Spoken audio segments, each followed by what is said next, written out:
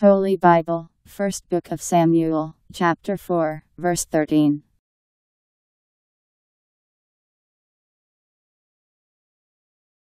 And when he came, Eli was seated by the wayside watching, and in his heart was fear for the ark of God. And when the man came into the town and gave the news, there was a great outcry.